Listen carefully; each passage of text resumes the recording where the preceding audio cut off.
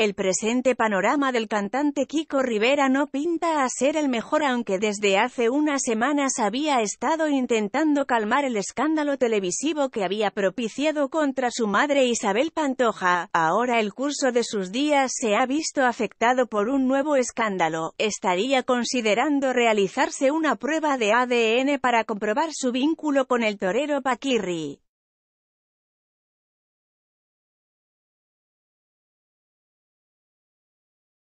Hace apenas unas horas se conocía que Kiko Rivera había pedido las pruebas del doctor Cariñanos, un famoso profesional de la salud que montó su imperio gracias a sus vínculos con famosos con Paquirri habría tenido una estrecha relación por llegar a ser su médico de confianza, pues era el predilecto para para realizar sus controles médicos.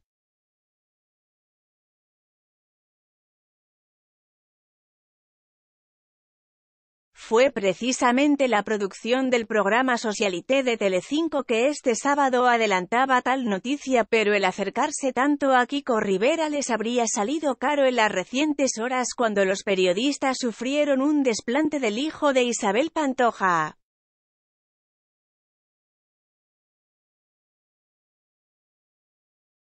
Al parecer el esposo de Irene Rosales no quiere adelantar de ninguna manera en qué se basarán sus próximos pasos para hacer frente a su actual crisis familiar y está dispuesto a rechazar cualquier acercamiento de la prensa, por el momento, y que es los periodistas del programa que conduce María Patiño llegaron hasta la puerta de la casa del DJ para averiguar si son verdaderos los planes de realizarse tales pruebas.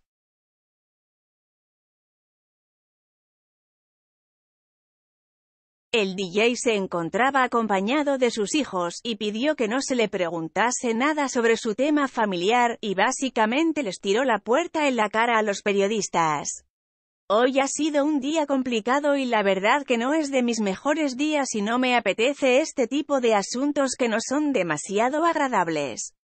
También siento que mi mujer tenga que lidiar con este tipo de asuntos, dijo Kiko Rivera, de acuerdo a una reseña digital de Cotilleo.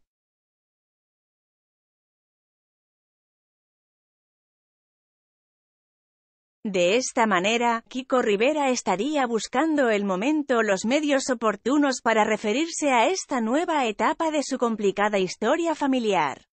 A la vez que a toda costa busca proteger a su esposa del escándalo, y por supuesto a sus pequeñas hijas.